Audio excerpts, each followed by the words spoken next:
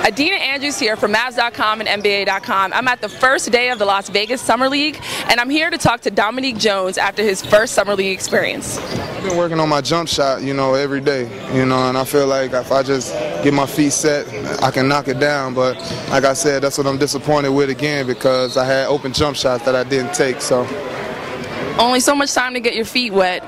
You got some big competition waiting for you when the season starts. Who you looking forward to matching up against? Um, everybody. Anybody looking forward to seeing the heat? The heat. Which part? One, two, three. You want? What? You, which one you want? What you mean? You want Wade? You want Bosh? Who you want? I ain't hyping them up, but I'm gonna just say, you know, I'm with the Mavs, so we're gonna go out there and do the best we can. exactly. And who are you looking forward to just playing against in summer league right now?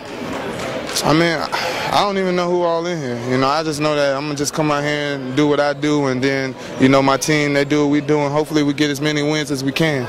Last, some controversy. Is it Dojo? Is it Neek? What are we calling you this season? Um, whatever you want to call me. You know, you you can call me whatever you want to call me. You know. All right, it's Adena Andrews with my boy Dojo from the first day of Summer League. We'll be coming back at you Saturday against the Houston Rockets.